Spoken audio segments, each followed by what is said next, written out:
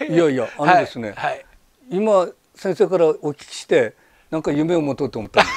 ええ、そんな。いやいや本当なんですよ。はい、だから本当良かったです今日は。あそうですか、え、ありがとうございます。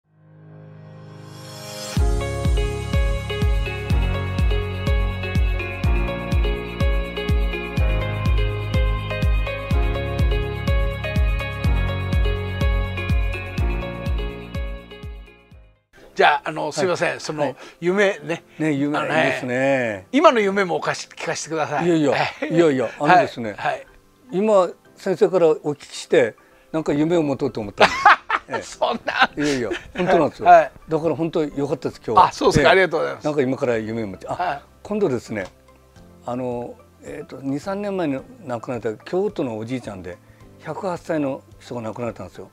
この人105歳の時に同人のスポーツ選手権があるでしょ？105歳以上の部で砲丸投げと,、えー、マスターズなんとかそうですマスターズ。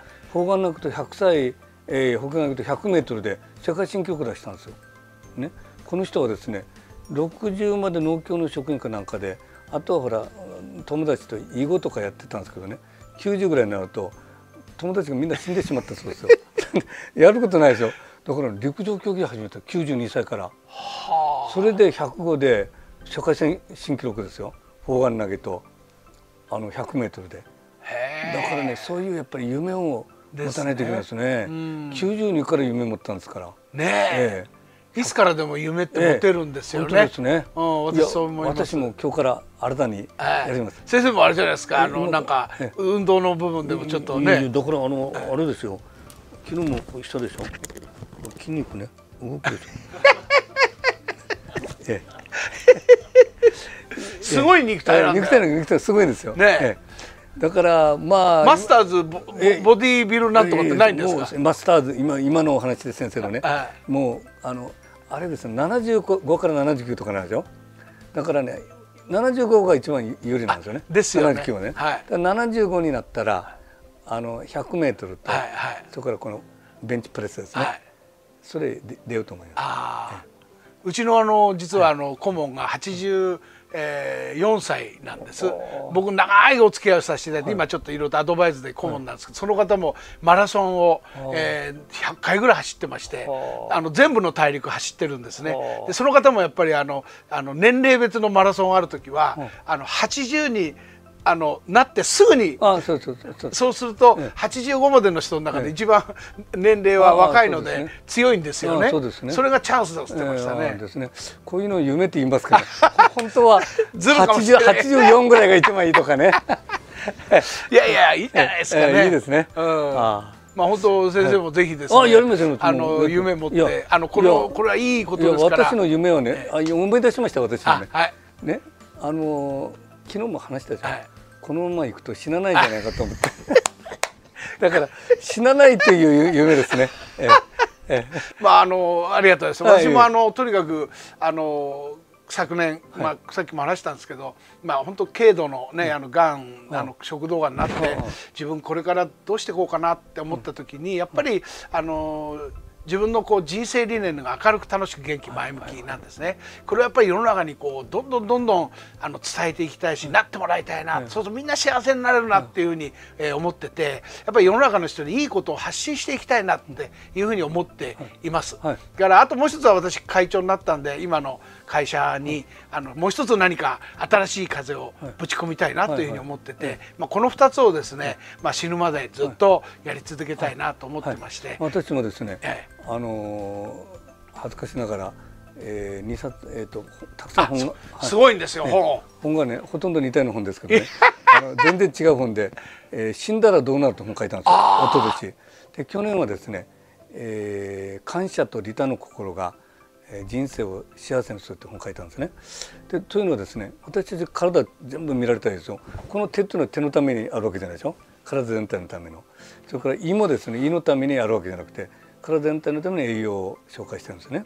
さっき言った白血球も自分がばい菌を食ってそれで生きてるわけじゃなくて体の,、ね、あの防御のために働いてるわけでしょだから私たちの体っていうのは全てが他のもののために働いてるわけですよ。